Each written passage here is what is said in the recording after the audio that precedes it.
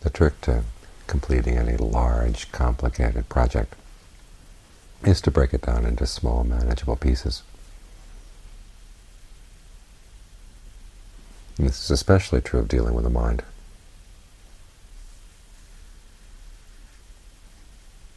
The mind is a very complex thing. Learning how to train it, learning how to bring it to release, free it from its habits of creating unnecessary suffering, requires that we keep things as simple as possible. The more abstract we get, the more we deal in abstractions, the further away we get from the actual nitty-gritty of the practice, the things that really will make a difference in the mind. It's one of the reasons why we start out with a breath. It is the most basic function of the body.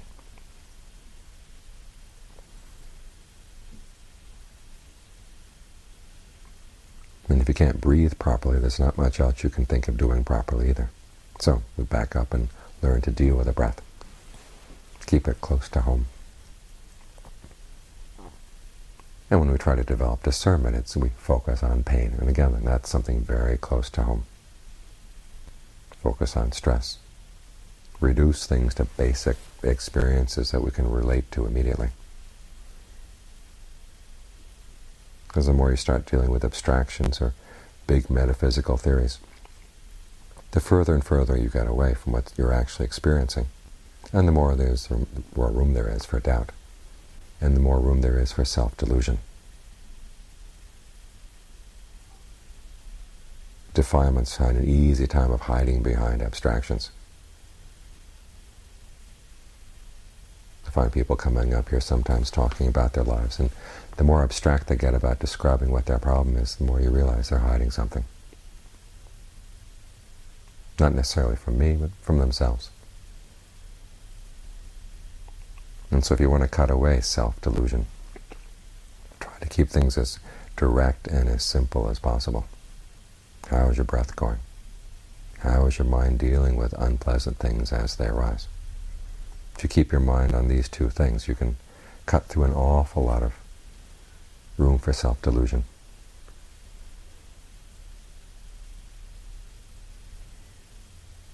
This is why the Buddha's teachings emphasize so much the issue of stress and suffering, because it's something that's right there.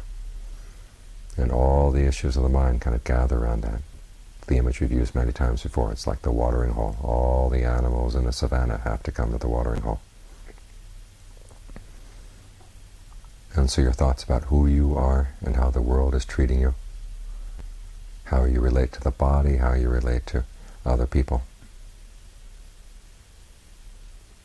all hover around this issue of stress and pain. And when you can reduce things to stress and pain, it's very helpful for cutting through a lot of the complications. Because sometimes we hold on to our pain. We actually think it ennobles us.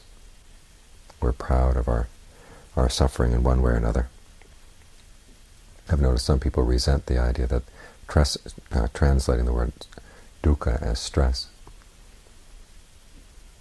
doesn't give it enough dignity. Well, that's the whole point of it. Cut through your stress and pain and all your existential anguish and everything. Well, it's just that. It's just stress that you create for yourself.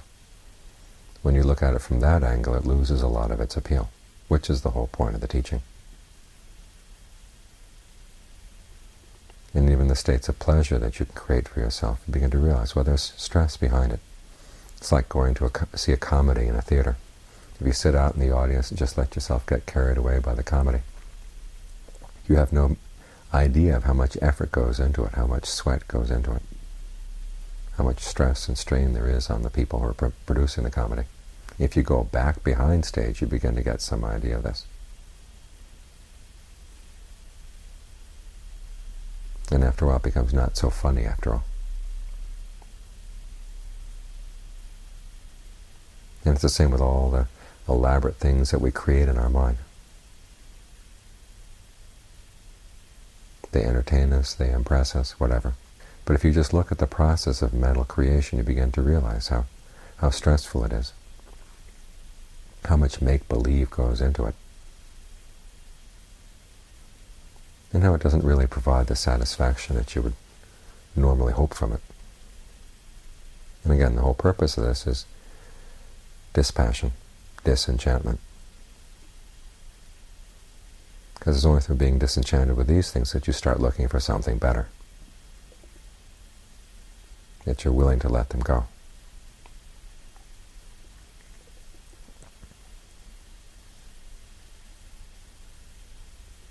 So it's this simple, insistent question all the way along the line. When you're dealing with concentration, is your mind really still? Is it really solid? Is it really centered?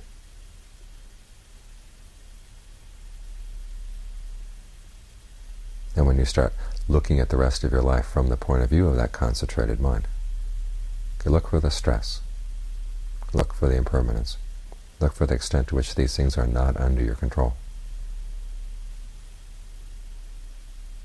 Ultimately, you'll turn those same tools around to analyze the concentrated mind. But don't be in too great a hurry for that. Hold on to that state of concentration. Hold on to that your object, whether it's the breath or whether you start focusing on more formless aspects, like the sense of space or the sense of consciousness, depending on where you are in your concentration practice. You want to maintain that, keep that going, because that's your tool. It's your fulcrum point for prying loose a lot of other attachments.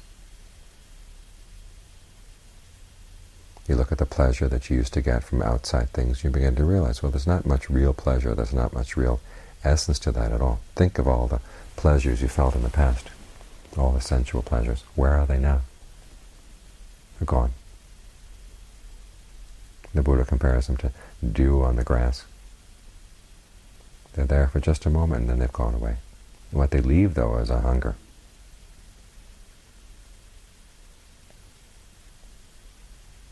And we try to, as we say, we take the take the bad with the good, which means that we try to cover up the bad as much as possible from ourselves. But the Buddha says, don't cover it up. Look at it for what it is.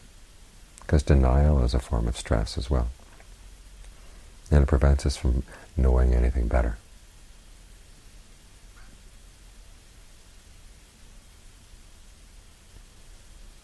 So once the mind is still and you, you feel it's time to look at the rest of your life from that perspective. Look for that issue of inconstancy and stress.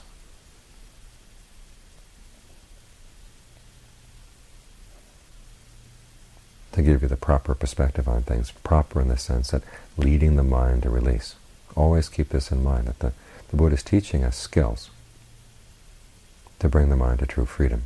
He's not the sort of person who wanted to just go out and badmouth the world, say, well, this isn't good enough and that's not good enough without giving us something better. He says, look, there's something better than this. These are the pleasures you've been contending with yourself with for many, many lifetimes, but they don't give any real contentment.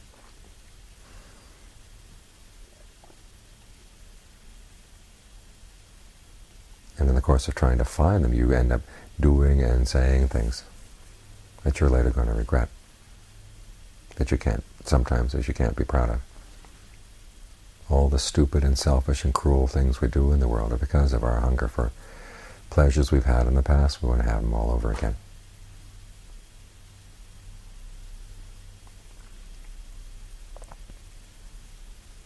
And so it's learning to focus on the stressful side of these things, that they're drawbacks. That's what enables us to say there must be something better than this, and be willing to let them go and look for that something better.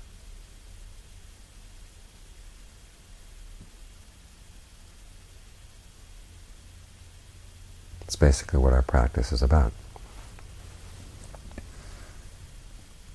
Developing the skill to find what's better in the mind. Mentioned this afternoon in the old days, back in ancient civilizations, they talked about two kinds of knowledge. There's scribe knowledge and there's warrior knowledge. Not warrior in the sense of macho, but in the sense of someone who has developed skills to use in difficult situations. And that's the kind of knowledge we're working on here. Scribe knowledge just tells, well, this is this and that's that, and it can describe things. And tends to get involved in an awful lot of abstractions, which just pull us away from where we want to be. Warrior knowledge has a purpose in attaining a particular goal by developing skills. That's what we're working on here. And the skills are basic. They tell stories in the canon of seven-year-old boys and girls becoming arahants. So it's not a question of mastering a lot of complicated thought processes, but it's actually a process of learning to strip things down to real basics and not let yourself stray far away from them. Because when things are kept simple, there's very little room for self-delusion. When they're kept in the area of immediate experience, there's very little room for doubt. The breath comes in, you know it's coming in. Breath goes out, you know it's going out. There's pain, you know there's pain. There's no pain, you know there's no pain.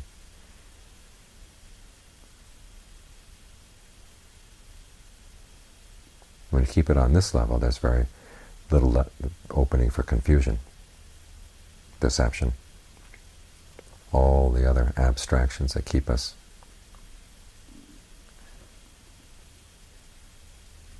keep us confused about where we want to go and what we want to do, what's really worthwhile in life.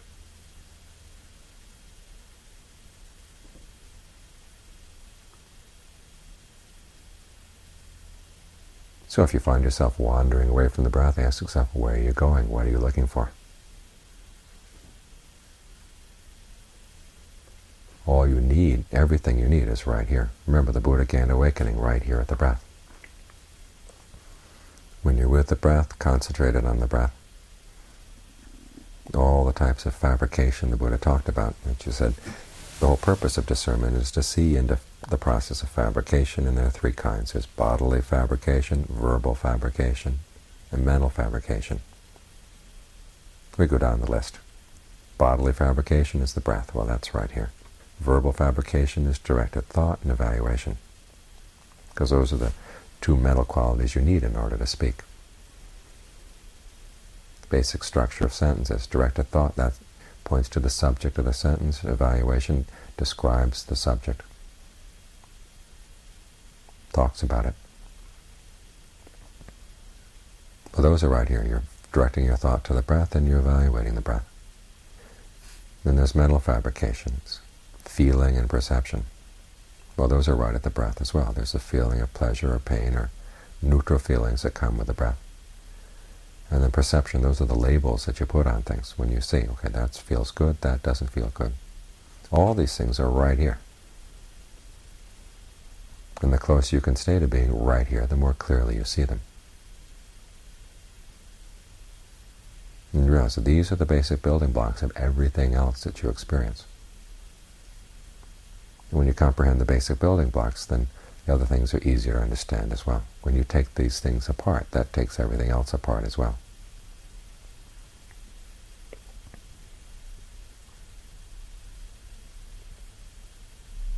So always be careful not to wander away from what's simple and direct.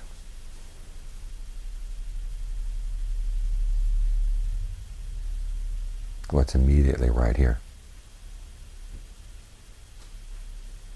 It's because we overlook what's immediately right here and look other places. That's why we're so confused.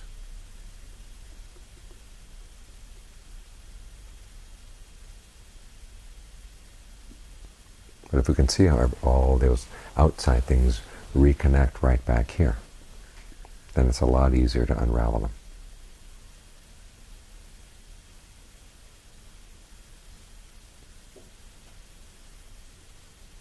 This is why there's so much emphasis on coming into the present moment. It's not the purpose of the practice to get to the present moment. The present moment is part of the path. Coming to the present moment so that you can see things and start unraveling all your confusion, unraveling all your attachments and clingings, by reducing them to things that you can see and look at directly and realize, well, this isn't anything worth hanging on to.